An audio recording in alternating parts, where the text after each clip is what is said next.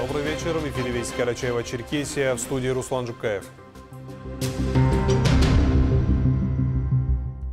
Сегодня в Карачаево-Черкесии два новых назначения. Приказом министра финансов России Антона Силуанова на должность руководителя Управления Федеральной налоговой службы по Карачаево-Черкесии назначен советник Государственной гражданской службы России первого класса Расул Тикеев. А приказом 1032 председателя Фонда пенсионного и социального страхования России Сергея Черкова на должность управляющего отделения Социального фонда России по Карачаево-Черкесии назначен Аслан Озов. Заместитель руководителя Федеральной налоговой службы Дмитрий Сатин представил главе Рашиду Тимрезову нового руководителя управления ФНС по Карачаево-Черкесии. Дмитрий Станиславович охарактеризовал Расула Тикеева как грамотного и профессионального специалиста, который работает в системе налоговых органов Карачаево-Черкесии с 2000 года.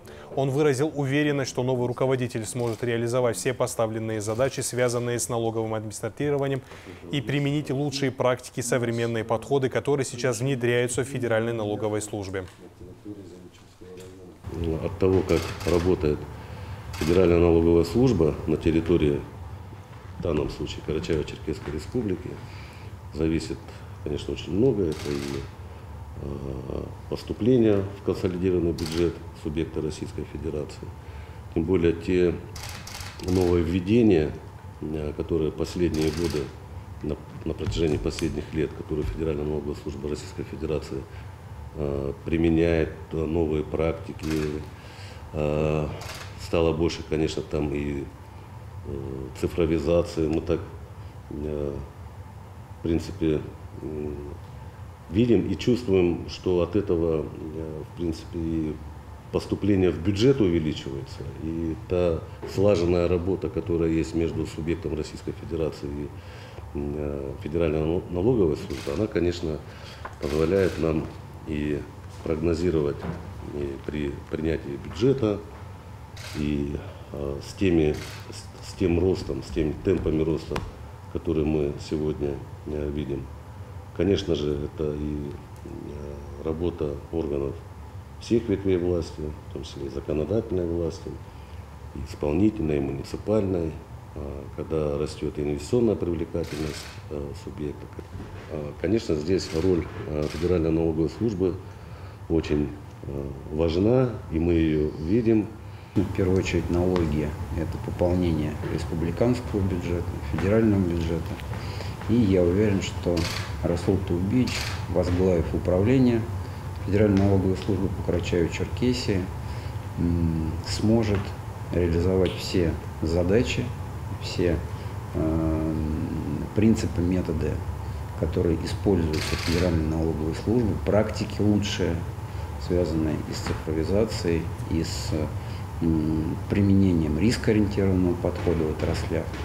Понимаем, что э, налоговое администрирование – это вещь э, существенная, которая не просто влияет на экономику региона, а, собственно, способствует ее развитию при грамотном использовании тех полномочий, которые предоставлены Федеральной налоговой службе.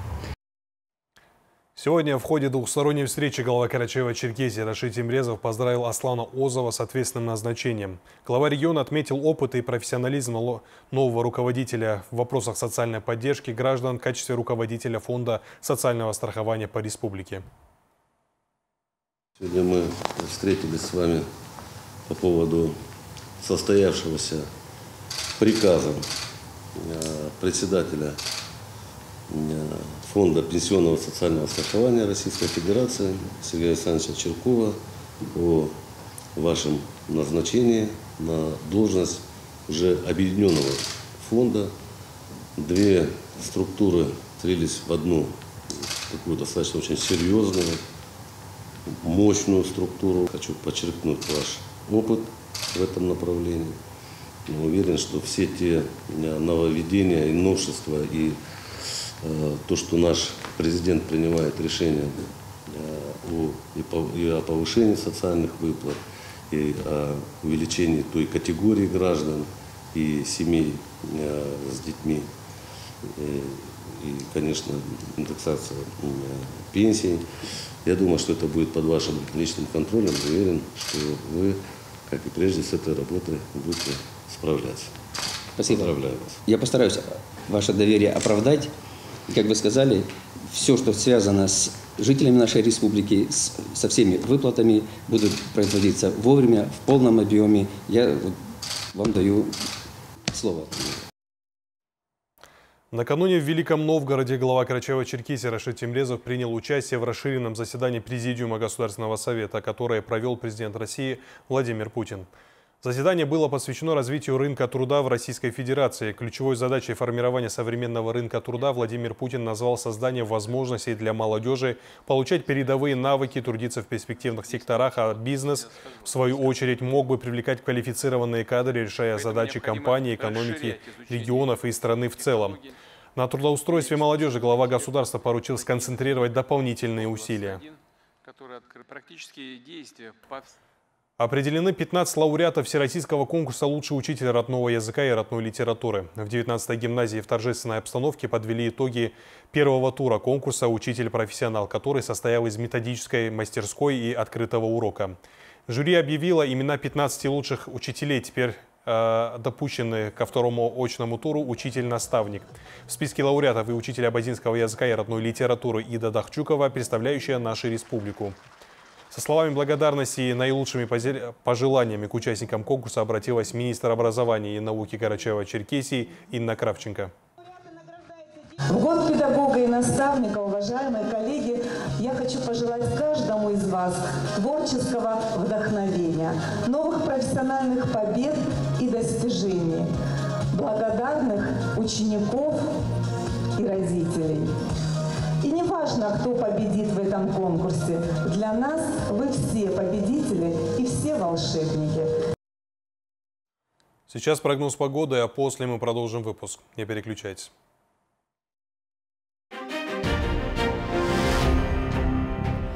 В Карачаево-Черкесии преимущественно без осадков. Ветер восточный 5-10 метров в секунду. Днем будут порывы до 11-14. Температура ночью 7-12, в горах до плюс 7, а днем 23-28 градусов тепла и местами до плюс 19. В южных районах местами высокая пожароопасность 4 класса. В Черкеске без осадков, ветер восточный 5-10 метров в секунду. Днем будут порывы до 14, температура ночью 10-12, а днем 24-26 градусов тепла.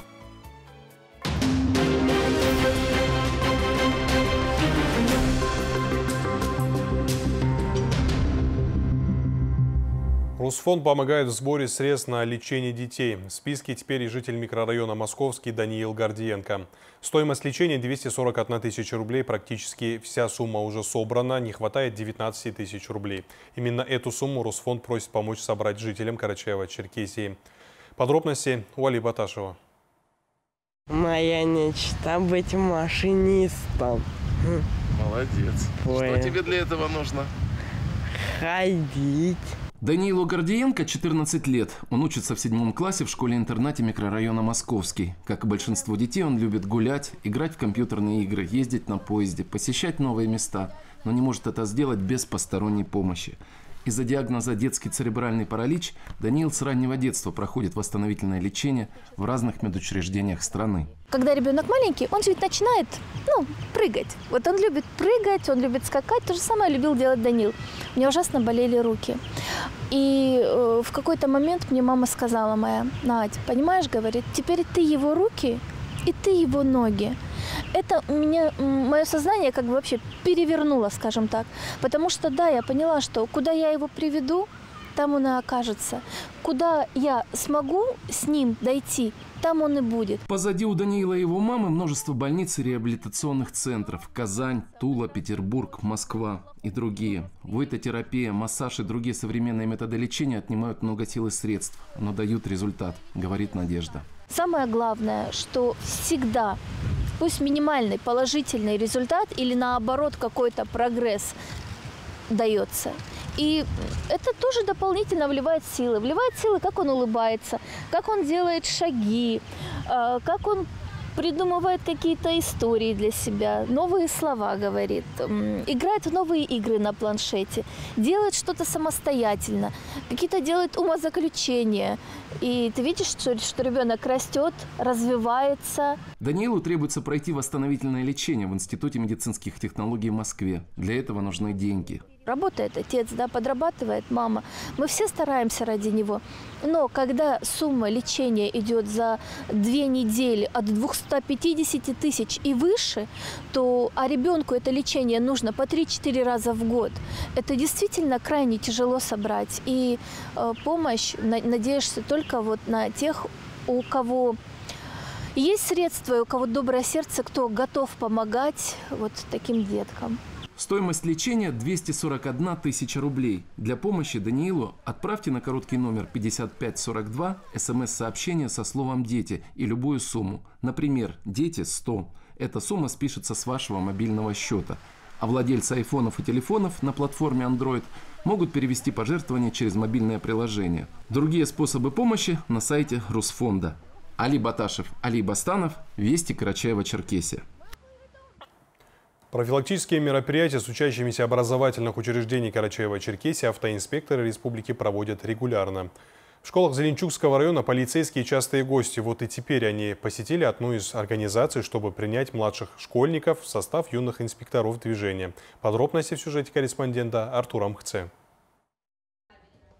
В актовом зале одной из школ станицы Зеленчукской проходит традиционная лекция о необходимости соблюдения правил безопасности вблизи проезжей части – Почти все места заняты учениками начальных классов, которые в большинстве своем хорошо знают теорию. О чем представитель межмуниципального отдела МВД Зеленчукский Елена Иваниди еще раз убеждается, когда юные зрители, перебивая друг друга, дают верные ответы. После того, как все задачи викторины решены, наступает время торжественной церемонии принятия пополнения в состав юных инспекторов движения. Ребята с радостью получают награды за знания от старших школьников.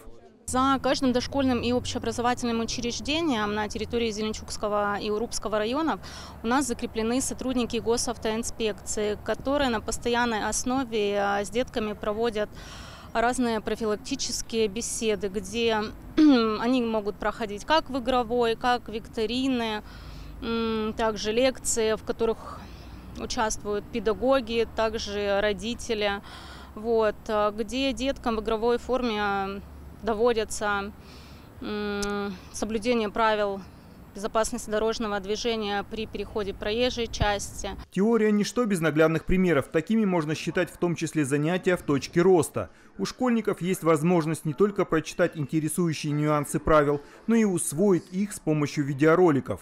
Сейчас я расскажу вам пару советов, а потом вы можете спросить родителей, знают ли они об этом. Если есть светофор, вы увидите вот такую разметку. Если светофора нет, тогда на дороге будет нарисована зебра. Нет, не такая зебра, а вот такая. Думается, подобный формат уроков по безопасности дорожного движения учащимся куда ближе и интереснее, чем лекции. Впрочем, каждое правило должно подкрепляться не только красивыми картинками, но и знаниями, которые потом необходимо применять на практике. В качестве наставников к малышам периодически приходят старшие ученики из класса волонтеров. Мой отряд 9 Б класс является волонтерами отряда «Ни дня без доброго дела». А, мы также представляем отряд ЮЭД, который проводит пятиминутки с, уч... О, с детьми начальной школы. Для этого мы а, делаем макеты пешеходного перехода, где дети учатся правильно переходить, а, помогают им, говорят о правилах, о знаках дорожного движения. Такие занятия в школе очень нужны, потому что многие дети не знают, как правильно переходить дорогу, э, как вообще вести себя на дороге, чтобы быть в безопасности. Поэтому мы проводим такие уроки, и для нас, для старших классов тоже э, сотрудники ГБТД приходят и тоже рассказывают как бы правила дорожного движения. В последнее время несчастных случаев, к сожалению, увеличивается, потому что многие дети не знают о правилах движения, не знают о том, как вести себя на дороге правильно. Поэтому, ну, рассказывать им об этом это нужно, и я считаю, что это обязательно, тем более для детей начальных классов. Разумеется, большое внимание стражи порядка стараются уделять закреплению полученной школьниками информации. Ученики правильно переходят дорогу, не создавая аварийной ситуации. Рисуют информационные таблички, которые, возможно, кому-то спасут жизнь. Кроме того, ребята в сопровождении автоинспекторов раздают водителям памятки. Водитель, не спеши, пешехода пропусти. Давай. Водитель, уступи дорогу пешеходу, соблюдай правила дорожного движения. Такие мероприятия давно стали привычными для автомобилистов, а потому они воспринимают юных инспекторов с улыбкой на лице и благодарят их за напоминание о необходимости соблюдения элементарных правил безопасного поведения на дороге. Артур Мухце, Мухаммед Ашибоков, Вести, Карачаево-Черкесия, Зеленчукский район.